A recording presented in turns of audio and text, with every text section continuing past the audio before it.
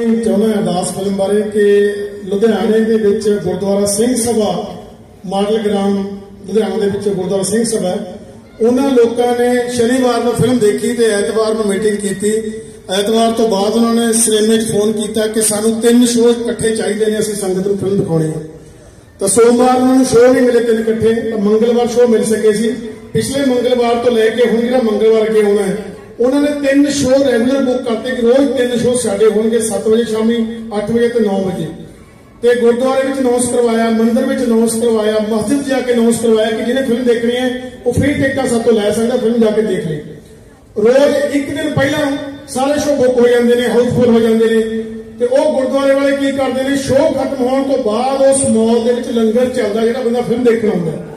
ਮੈਨੂੰ ਬੁਲਾਇਆ, ਪਹਿਲੀ ਵਾਰ ਦੇਖਿਆ ਕਿਸੇ ਮਾਲ 'ਚ ਲੰਗਰ ਚੱਲਦਾ। ਕਹਿੰਦੇ ਪਹਿਲਾਂ ਟਿਕਟਾਂ ਦਾ ਲੰਗਰ ਚੱਲਦਾ ਜੀ।